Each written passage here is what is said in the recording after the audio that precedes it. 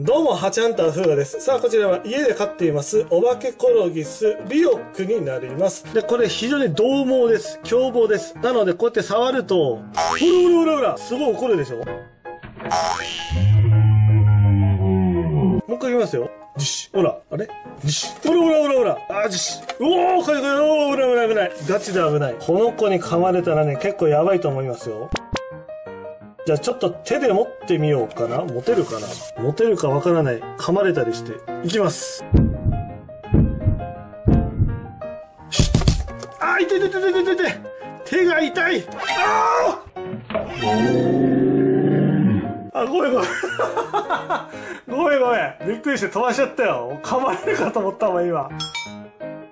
下手に手で持とうとすると、足がですね、痛いっす。足が。はい。なので、できるなら素手では持たない方がいいですね。逆に、掴まないで、自然とこう手に誘導する方が安全かもしれませんね。この状態で一回触ってみますよ。よしよしよし。あれ？動かない。よしよしよし。あれ？大丈夫か？おい。おー、うらうらうら。よしよしよし。おー、うらうら。おー、うわ、うわ、捨てはげうわあ、あ乗っかってくれるかな？乗っかった乗っかった乗っかった。おー、かわいいかわいい。よしよしよし。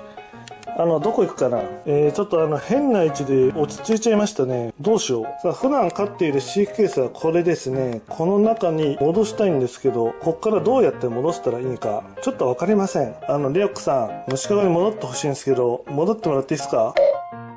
さあ、戻ってくれるかな？お、ぴょーんと跳ねて、戻ってくれる？はいはいはい。あ、戻ってくれた。あ、よかったよかった。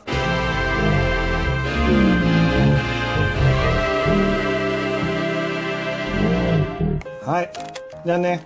あちなみにリオックはこうやって潜っていって、土の中で普段生活しています。生活っていうか休んでいます。餌を食べる時とか水を飲む時だけ出てきていますね。以上、ハチャンター、フーガでした。